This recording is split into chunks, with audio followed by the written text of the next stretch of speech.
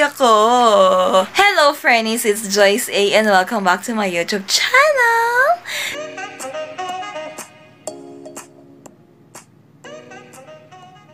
So, for our today's video, guys, I'm so happy kasi lalabas ako today! Oh my gosh! Mo yung ang saya mo, yung parang tumatalon yung puso mo sa tuwa that finally after 8 months of being a stay-at-home mom, lalabas ako. Ay, chikahan ko na lang kayo more later. So, yan lang. Um, wala lang, pinakita ko lang na masaya ako. Hinahanap niyo si Molly. Huwag niyo nang hanapin. At di niyo makikita. Tinago ko na. Hindi, joke lang. Ito si Molly.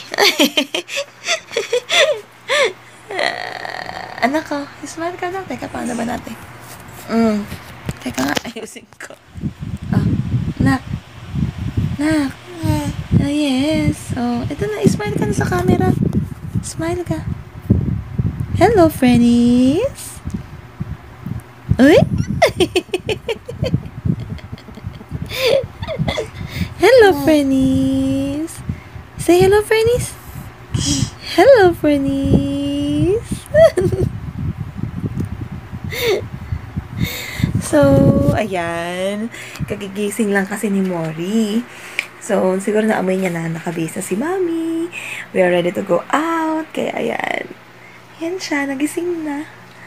So, yan. Balikan ko na lang kayo mamaya. Pasensya na kayo sa mga kurbating namin dito sa kwarto. Ganyan talaga minsan. May mga kalat-kalat. May Bye-bye! See you later! One eternity later. Yes! Excited na si Molly! Uy! Anak yung pilay ko! Anak naman eh! Ano mo naman eh? Ready na din si Tati! Miss na miss na nating lumabas, ano? Dati talaga kasi, ano namimiss mo sa labas? Naglaro. Gumalak. Siyempre, kumain sa Jollibee. Mm. Um, umikot-ikot sa mall. Yeah. Maglaro, di ba? Ano nang ilaruan tawag doon? Sa boun- Little Bouncy. Sa mga amusement, ano ba yun? Hindi ko alam ano tapos. Sa Tom's World. Yes, andito na tayo sa sasakyan.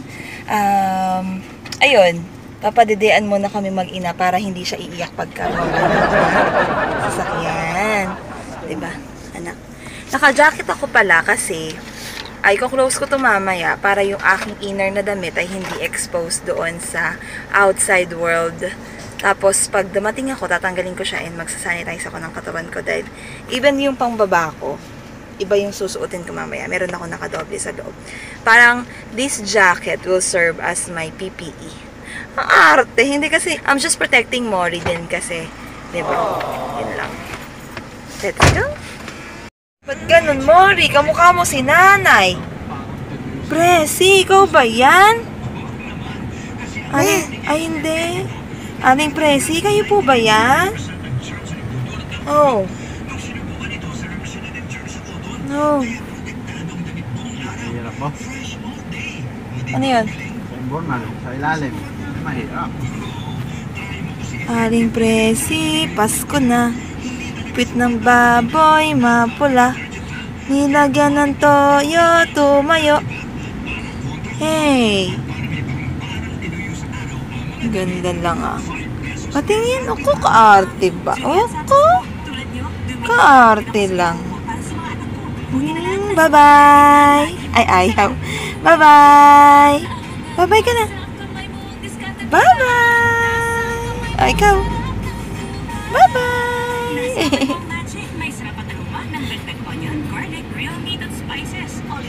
We are on our way to Emporio. Two hours later.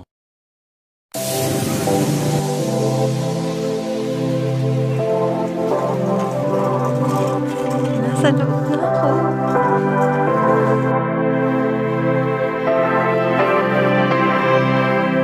One eternity later.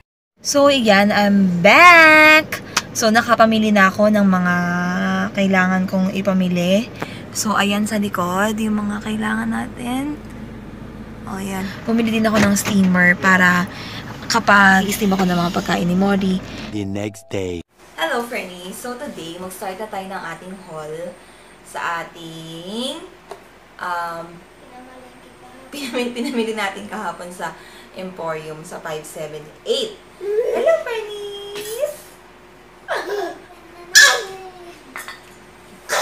So, start na, start na tayo guys ng mga pinamili natin kahapon sa Emporium. So, bago yan, gusto ko muna palang i-share sa inyo yung nag-experience namin ka experience ko kahapon sa pamamalengke natin, anak. Alam mo yung, di ba, syempre, ang tagal ko na hindi ako nakapamili. So, hindi ako nakakalabas. 8 months ako na hindi nakalabas kasi 8 months na si Mori today. Yay! Happy 8 months! Happy 8 months more. So, ayun na nga, 8 months akong hindi nakakalabas. And then, sabi ko kay Ariel na, Gay, gusto ko lumabas. gusto ko man lang na, ma- parang makita mo yung outside na ano bang nangyayari sa labas, parang ganun. Tapos, edi syempre, alam mo naman si Ariel, very supportive yun sa Lumabas kami. So, yun. Ah, ako lang yung bumaba. Ah, kasi ako hindi naman ako mahilig na sa mall, mga SM, ganyan. Hindi ako doon mahilig mamili ng mga gamit or kung meron man akong needs or meron man akong gustong bilhin. Hindi ako punta pala SM, ganyan. Mas more on ako sa mga 578, yung mga parang parang mga tutuban mall, ganun ganun. Mas more ako sa mga ganun. Novo, ganyan, kung familiar kayo. Emporium, ganyan, 99. Ganun, mas gusto NSN. Dito sa Cabanatuan kasi yun yung mga ano. Parang mall ba yung tawag sa ganun? Siguro mall na rin. Ah, hindi ako palabili sa mga mahali na store, ganyan. So, yun na nga, dami ko na namang sat sat ano. Ayan, first item. Bumili ako ng pangkaskas ng plato. Pang ano to, mga kaldero, ganon. Pang mga rough, rough, rough. Next natin, syempre, steel wool yan. Kailangan, kailangan din natin yan. Tapos, bumili din ako ng toothbrush. Yan. Alam niyo, huwag kayo mag-expect ng masyadong mahal sa mga pinamili ko. Mumurahin lang to lahat. Promise yan. Tapos, toothbrush din ni Janine. Inom lang akong kape. Meron kasi ako nakita na toothbrush sa online. Parang 80 pesos yung isa. Eh, parang ganito lang naman yung itsura niya. Bamboo, eklaber, eklaber na toothbrush. Eh, tatry ko to kay Mori kung soft bristle. Kapag soft, o, oh, di pwede ko na tong gamitin sa kanya. ba? Mahalaga, malinis yung teeth niya. Hindi naman mahalaga kung mahal yung gamit mo. Next natin, supot. Kailangan, kailangan natin to pag halimbawa namimili si daddy ng mga gulay. So, pag nilagay natin siya sa rep, pag nakahugas, kailangan i-plastic. Siyempre, pang shave, pang shave ng mga balahibo sa kilikili. Next natin, ay, bumili din pala ako na to. Bumili din ako na to. Tatlong piraso yung binili ko. So, na-disinfect naman na natin to. Huwag na kayo mag-alala dyan. So, bumili ako na to. Picture siya. 48 pesos. So, bumili tayo ng tatlo niyan. And, bumili din ako na to. Yung pambalot sa... Anak! Anong ginagawa mo? Tanggalin mo na nga yan. Nagagawa mo. Ikaw eh. Bumili din tayo na to, yung plastic na pambalot sa mga gulay. Kasi pag, like, um, mga madaling masirang gulay, pag nilagyan mo ng plastic, mas tatagal yung kanyang buhay sa loob ng ref. Alam mo yung mga momshi tips na natin. Kasi, basta. Tapos, bumili din ako ng chinet. Ay, cool. Si pala yung tatak nito. Bumili din ako ng chinelas. So, pang lupang bahay. Dalawa yung binili ko. Yan. Eh. So, habayanas yung isa. Siyempre, fake na habayanas lang naman. Pambabahay lang naman natin, hindi naman kailangan sobrang mahal ng mga gamit natin. Pero kung afford mo naman, go. Alam niyo ba, habang bumibili ako ng tsinelas, may toby sa akin na babae. Eh di syempre, di ba, ina-announce na nga doon na social distancing, tapos didikit ka pa. Eh di ako naman, kung ano na lang yung nadampot ko. Kaya hindi na ako naka kapamilya. Mal- malaki nga sa akin to eh. Sabi ko, okay na yan eh. Ano lang naman, sa bahay mo lang naman isusuot. Tapos, bumili din ako ng kulambo. Kasi nga, nagkakaroon ng kagat ng lamok si Mori. Ang dami niyang kagat ng lamok. Ayan, kulambo. At isa pang maliit na kulambo, pang duyan niya. Ito, pagka nakaduyan siya, ilalagay namin to, ikukulambo ko siya. Kasi may kulambo siyang pang duyan. Kaya lang, napansin ko parang medyo malaki yung mga Butas. butas. Eh, ito, ito mas maganda siya kasi ano talaga, net talaga. Parang, kasi yung parang dati lang anak, natatrap lang yung mga lamok sa loob, no? Kaya kinagat ka ng kinagat ng mga lamok eh. Natrap lang yung mga lamok sa loob. No? Wawa naman. Oo, oo. Ano?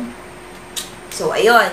So, dalawa binili natin. Isang maliit, pang family, tsaka isa na itong maliit. Ayun lang. Bumili din ako pala ng... Binili ko tati sa'yo. Binilat ko si tati ng pampaint. Dahil... Dahil isang titang ina nga si Janine, binilad ko siya ng pampaint. So guys, Kasi...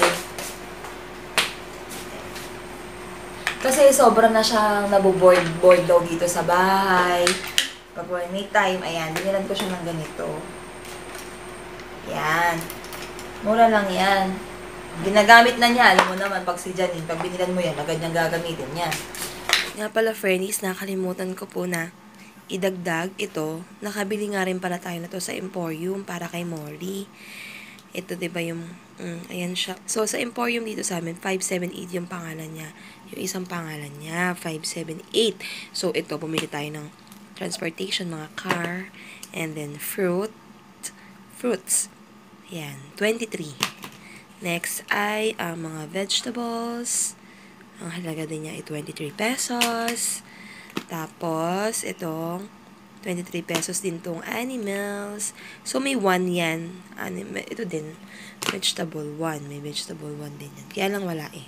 Kaya, yung mga tuna lang nabili natin. Tapos, meron din tayong nabili na ganito. Alam niyo, ang mura oh. Tingnan niyo kung magkano siya oh.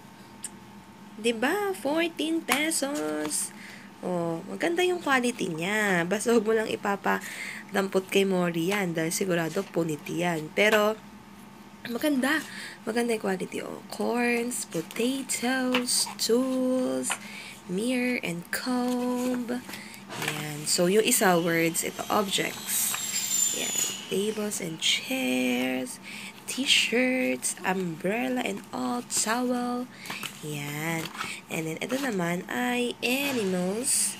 So, yan. Butterfly, dragonfly, fish. Maganda. Maganda yung quality niya. So, ang halaga lang yan ay 14. Ito, tingnan nyo yung quality din niya. Maganda din. Makapal, oh. ba? Sipin mo yan. Kung sa mga bookstore mo yan bibilin. I don't know the price, pero baka medyo mahal yan. Doon, magkano lang siya? 23 pesos. Ang mura, ang kapal din ng, mm, di ba, oh. So, yun. Alam niyo ba, share ko sa inyo, di ba kahapon sobrang excited talaga ako na mamili. Hindi ka anak dito, kanto ka kay mami. Sige. Halika. Alam mo yung sobrang hirap. Ak um, noon namang nag-duty naman ako, sanay naman ako nagmamas. Kaya lang, pag magmamas ako, saglit lang. Pag pupunta ka lang sa pasyente, yun, tas lalabas ka na, di, tatanggalin mo na yung mask mo pag nandun ka na sa station. Kaya lang, ang problema nga na to, pag namimili, ang laki talagang sagabal. Siguro dahil laki ng ilong ko din. Tapos naka-face shield ako. Alam mo yung tinanggal ko na yung face shield ko, mas na lang yung tinira ko. Kasi nakakaduling pala yung naka-face shield. Parang aligaga din yung isip ko dahil nga ito, kasakasama namin, nasa sasakyan to. Tapos, um, yung iniisip ko siya, baka umiiyak siya, ganyan. Pero pinadedi ko naman siya bago ko bumaba. Baka parang iniisip, iniisip ko na baka naaano siguro si Mori, ganyan, yung baka naiinip siya, ganyan, or umiiyak siya. Kasama namin daddy niya. Kaya lang, yun nga, siguro isa yun sa mga factor ba't parang aligagang-aligaga yung isip ko. Or dahil sa sobrang tagal ko na na hindi nakakapamili, kaya sobrang, parang ang hirap-hirap mag-ikot-ikot na talaga sa mga ganon. Parang, alam mo yun, sa halip na mag-enjoy ako, sumakit yung ulo ko, na-stress ako. Kasi ang hirap, ang hirap talaga. Basta nahirapan ako. Siguro dahil hindi na nga talaga din ako sanay mag-ikot. Kung akala mo mag enjoy ka paglabas mo, kaya lang parang nagsisi lang din ako nung lumabas ako. Ba't parang, ba't parang lumabas pa kasi ako? Kaya sabi ni Ariel sa akin, kaya sabi ni Fafa A, O ano, ngayon alam mo na. Yung, alam mo na yung hirap pag nasa labas. Yung pag may pinapabili kasi ako sa kanya, nagagalit ako minsan pag hindi niya makita yung pinapabili. Ano, akala mo di nakakahilo, sabi niya. Nakakahilo, tapos gusto mo pa naka-face mask, naka-face shield, ganyan, ganyan. Siyempre, para sa safety mo ka ko yun, tsaka para sa safety nating lahat. And, ayun, ayun, na-experience mo na yung hirap, sabi niya. Pag nasa labas ka, siguro pinagbigyan niya lang din ako para nang sa ganun, malaman ko yung hirap na pinagdadaanan niya tuwing mamamalengke siya. At tuwing may bibili siya sa kung saan man. Mahirap talaga sa labas, grabe. Kung iisipin mo talaga na paano pa kaya yung mga frontliners natin na full gear talaga sila. Sorry, nagkakape ko kung iisipin mo, paano pa kaya yung mga frontliners natin na talagang full gear sila, may mask, may may eye shield ba yon may may PP, complete PPE as in, sobrang init nun, 'di ba Eh, samantalang ako, ayun lang, nag-ikot lang ako, nakamask lang ako, tapos nakadoble lang ako. Init na init ako kasi sa mall, ay kasi doon, di ba nga, ano yun, pinapahinaan yung mga aircon para, kaya sobrang init. So, what more kaya yung mga frontliners natin talagang sobrang sobrang init na init sila sa mga suot nila. Tapos, plus, nag-iisip ka pa, isipan nila yung pamilya nila, paano pag uwi nila, baka carrier na sila ng virus, iniisip nila din how they can protect themselves. As in, ang hirap, no? So, kaya, saludo po kami sa mga frontliners dyan natin kahit sa ospital, kahit saan, tindera ka man, ospital, doktor, nurses, social worker, lahat. Thank you so much po sa inyong lahat. And mag-ingat po kayo lagi dahil kayo talaga yung isa sa mga um, warriors natin during this pandemic. Kaya, thank you so much po sa inyong lahat. And parang naging madrama na itong whole ko. Yun na, friends. Thank you so much for watching this uh, vlog and I hope na mag-ingat tayong lahat palagi and kung hindi ka pa nakasubscribe sa ating channel, please subscribe and hit notification bell para updated po kayo sa ating mga newly uploaded videos. Thank you so much for watching. Keep safe everyone. Bye!